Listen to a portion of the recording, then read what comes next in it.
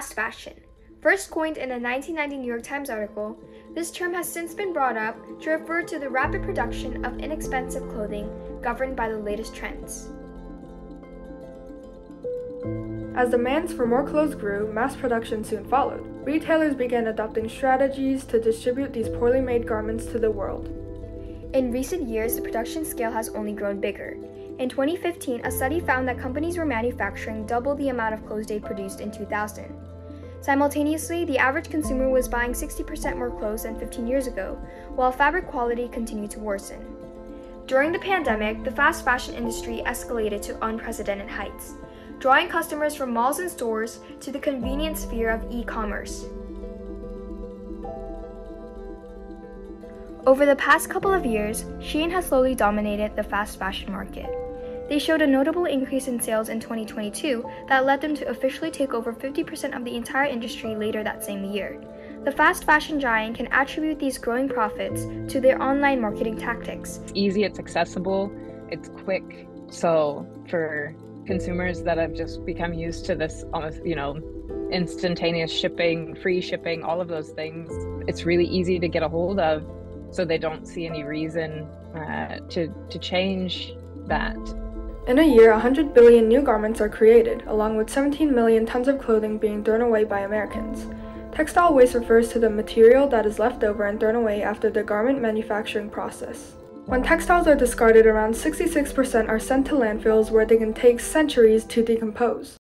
Satellite images have identified a pile of discarded clothing in Chile, sent there from Europe, Asia, and America, and it is so large it can be seen from space. The numbers around the amount of clothing that is thrown away have just grown astronomically. It's the fastest growing part of our waste stream in the United States.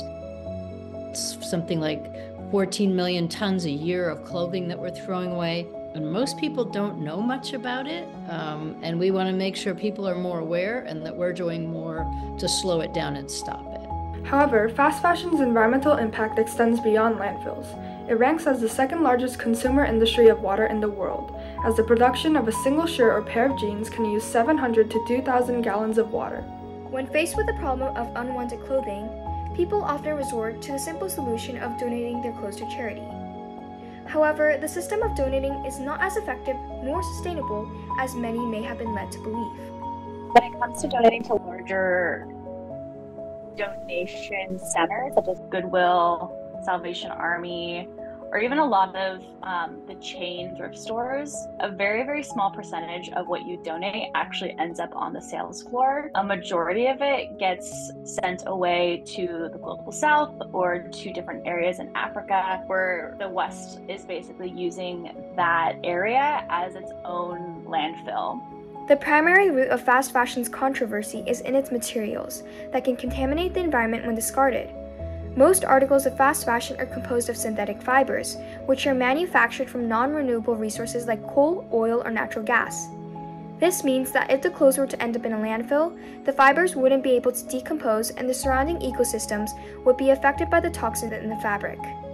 Unfortunately, even natural fibers aren't safe once they end up in landfills, as this prompts them to produce methane, which is four times more potent than carbon dioxide. Greenwashing occurs when a company creates an impression that its products and agenda are taking steps to be more environmentally friendly. Companies may use vague labels or marketing tactics, which lead to consumers making choices based on misinformation. As consumers, though, our standard should be made from 100% recycled materials and not made from recyclable materials. There is a vast difference. With about 75 million factory workers worldwide, shockingly less than 2% of them receive a living wage. Most garment workers, predominantly situated in countries like Vietnam, India, and Bangladesh, experience exploitation and harsh working conditions. In fast fashion, a lot of times you see, you know, when you see shirts for $5 and you think, oh, you know, H&M is making a portion of that, they're shipping it from somewhere else, so how much are those people getting paid? Through regulation and standards, governments hold the absolute power to combat overproduction and overconsumption. While it is important that the average person take their own conscious measures to reduce their fast fashion footprint, systemic change is inevitably the only way to take down this monstrosity of an industry phenomenon.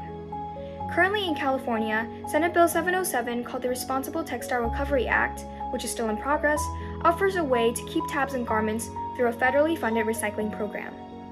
For this bill, um, it will require that all producers of um, fashion articles and textile articles that are selling into the state of California um, fund a um, collection infrastructure and recycling of the material that they collect.